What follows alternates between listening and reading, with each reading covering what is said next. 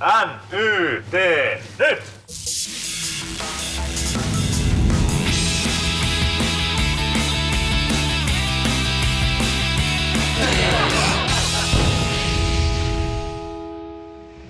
No, meillä on tullut paljon toiveita liittyen tuohon sinulle parhaaseen Prismaan, niin erilaista kassajärjestelmää. Eniten on toiveita saanut se itsepalvelukassa. Miten me testataan tätä kuvia?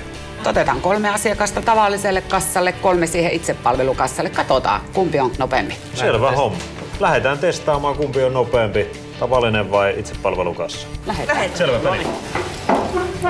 Testiryhmä täällä. Jee! Ollaan kokoonnuttu testaamaan, kumpi on nopeampi, itsepalvelukassa vai perinteinen kassa.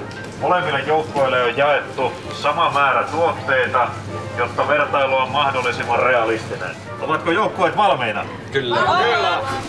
Aloitetaan. N, Y, T, nyt!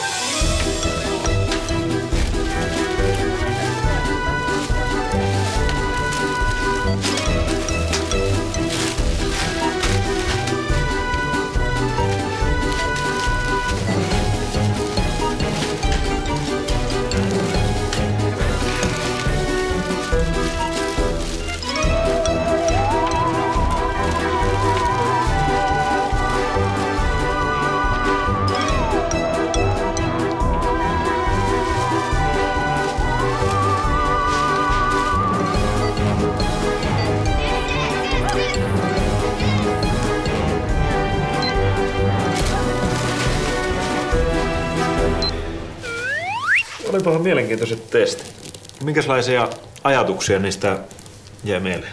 Niin näyttäisi siltä, että vaikka tavallinen kassa on nopea, kun siinä on myynnin ammattilainen avustamassa sitä hommaa, mutta kyllä se on kuitenkin se itsepalvelukassa, niin kyllä siinä on jotain. Niin onhan se, se normikassa, että jos sä pääset suoraan siihen, niin paljon parempi, mutta vähänkin jonoa kolme neljä ihmistä, niin mieluummin itse No, miten tehdään, kyllä vai ei? Kyllä, Kyllä, yes.